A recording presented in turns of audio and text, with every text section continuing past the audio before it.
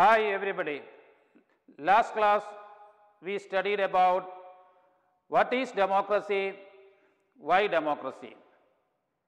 Today we are going to study about constitution. What is constitution? All countries that have constitutions are not necessarily democratic, but all countries that are democratic will have constitutions. While discussing about the first chapter, what is democracy, we saw some of the features of democracy. One of the features of democracy is all citizens have rights and in a democratic country, rule of law is prevailing. So it means there are certain rights which are uh, available or enjoying by all citizens of that country. But where is it mentioned? What are the rights that we can enjoy or all citizens of a country can enjoy? Those rights, those points are mentioned in the constitution. And those rights are enjoying only in democratic states, citizens are enjoying. Because of that, this is mentioned, all countries that have constitutions are not necessarily democratic. That dictators are also framing constitutions, those countries are also framing constitutions. The kingship, Saudi Arabia or some other state, they are also following certain rules and regulations, but those rules are not, rules and regulations are not agreed by the people. That these rules and regulations are imposed by the authorities. One of the features we mentioned about what is democracy, leaders are elected. Elected leaders are taking decisions. Where is it mentioned? In our constitution, we know that Indian constitution, it is mentioned, leaders are elected and these elected leaders will form the government. That part is mentioned in the constitution. Because of that, we know that there is elections in once in five years. We are selecting our leaders. All those points are mentioned in the constitution because all democratic countries, it is a must. A constitution is an essential, essential thing. But in other forms of government, there is constitution, but it is not agreed or it is not up to the expectations of the people or citizens of that country. That is the difference between a constitution which is following in a democratic country and one constitution which is which are following in other forms of government. Let us discuss about what is constitution. To order to understand properly, have to define the term constitution. Constitution is a body of laws according to which a country is governed. That is, that is a simple definition given to uh, constitution. Constitution is a body of laws according to which a country is governed. Some of the definitions which are mentioned in our textbook. The first is mentioned constitution of a country is a set of written rules that are accepted by all people living together in a country. This is one of the definition which is mentioned in our textbook. So what is constitution? Constitution of a country is a set of written rules and that are accepted by all people living in that country. So there is every citizen, everyone, it is to follow those rules and regulation. This is, that is required for a proper well-being of all citizens and maintaining unity, integrity, everything what is all required for a country. The constitutional design lays down the procedures for the formation of government. So what, what it contains, a constitution that contains. So while framing a new constitution, certain points are including. Firstly, mentioned about it is a set of written rules and regulations Oh, everyone to follow. Secondly, mentioned about what type of government. We know that democratic governments leaders are elected. How to elect? What, is the, what are the rules and regulations for the election, for conducting a free and fair election? And how to, after the election, how to form a government? We know in our country we are following democracy, that is indirect form of democracy. In an indirect form of democracy, leaders are elected. This is one of the features of democracy. Leaders are elected and these elected leaders are taking decisions. Here, these leaders are elected and how to form a government, those rules and regulations are mentioned in the constitution. So designing or framing of constitution at that time, in it leaders clearly mentioned about how to form a government and we have to follow those rules and regulations while at the time of formation of a new government. And thirdly mentioned, it defines the distribution of power among various organs of the government.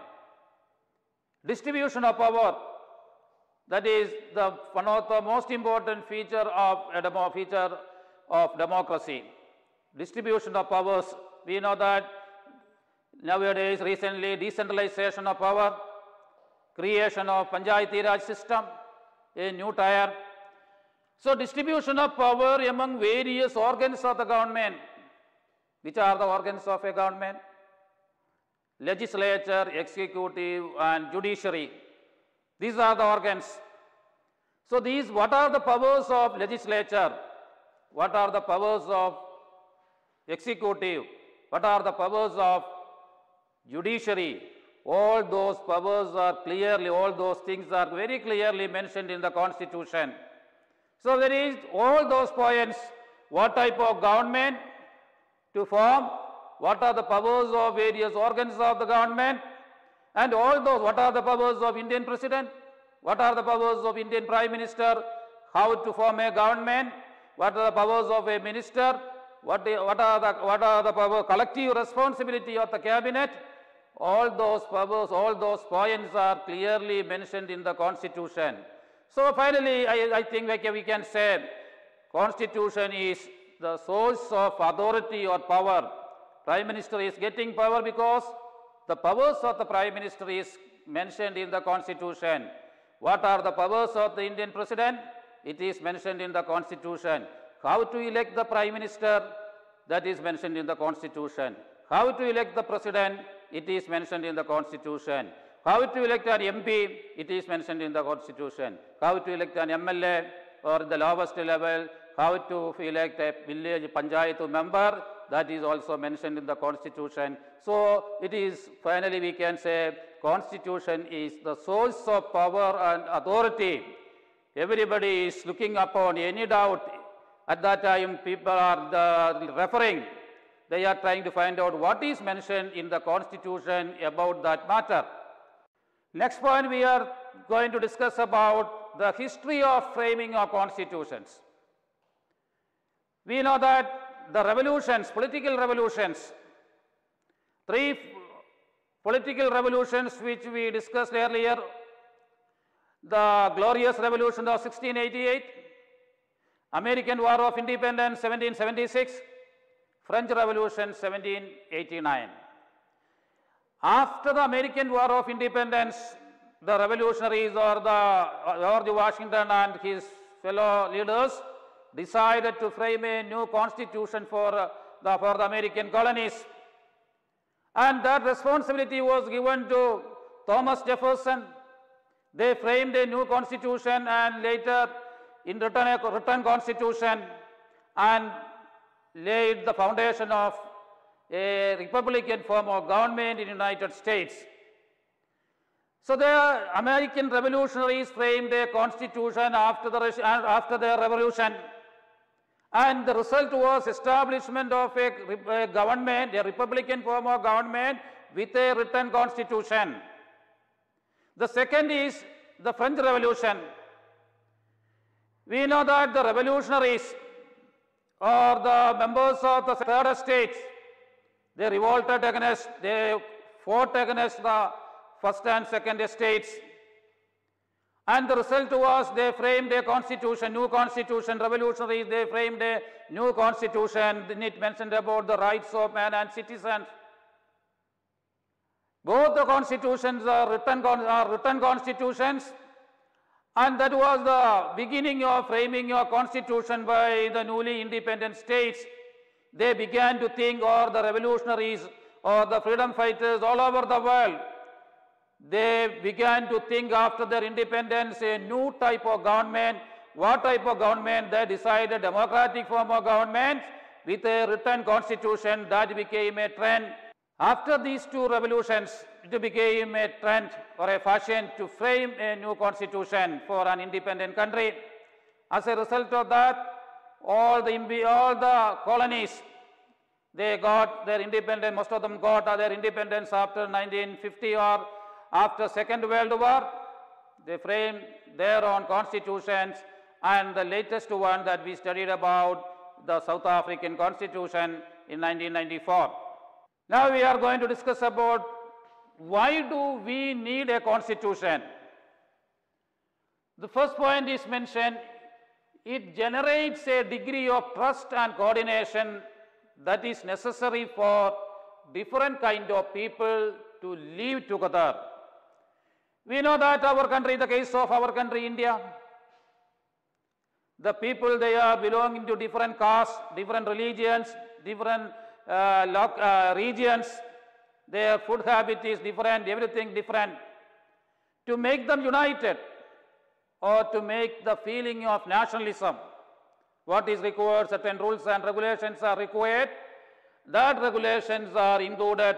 In any country, people have full faith upon their constitution because everything mentioned in the constitution any challenge or any problem faced by the people or citizens of that country, they are look upon the constitution, the answer is there. So they are getting answer from the constitution, so they put full faith upon their constitution. Second point is, it specifies the government will be constituted who will have power to take which decision.